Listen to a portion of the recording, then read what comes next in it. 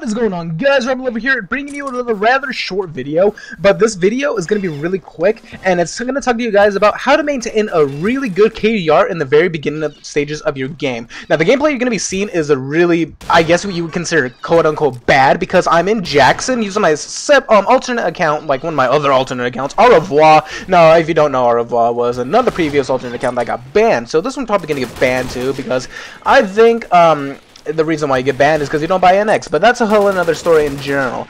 Um, but in this gameplay, I go 21 and 2, and I'm to go talk to you guys about how to maintain a strong KDR very early into the game.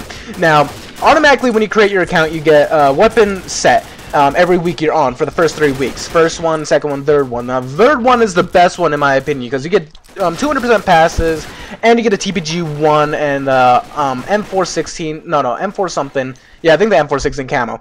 Now, if you get this, like, what I recommend is I think you need to be playing each and every time. So um, every once in a while, go on fire team um, and then get off until you get to the third week.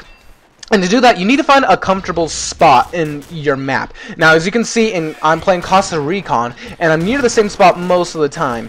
And if you're in a comfort spot, you're going to be able to figure out, like, alright, so there's only two ways you really need to be looking. I'm looking on the left side and on the right side, and maybe on the other side in case someone comes out and you can see them through your perth. And then you can pick them off really easily. You're not going to die most of the time, and you're going to do really well.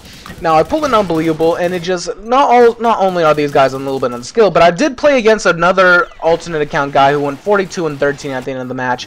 But I mean, as long as you can find a really nice comfort spot in the game, you're gonna do really well. You'll just do really well in general.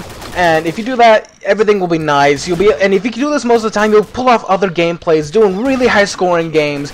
Like I go like 45 and some odd, and just really, really good games. So if you do that, maintain a really good, it's, and also you need a sniper rifle so you can pick people off with point pinpoint accuracy.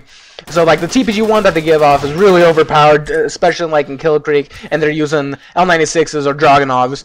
So this coming up to the end of this video. So guys, I'll see you guys next time, and if you guys like this video, please comment, like, and subscribe. I'll see you guys next time. Peace.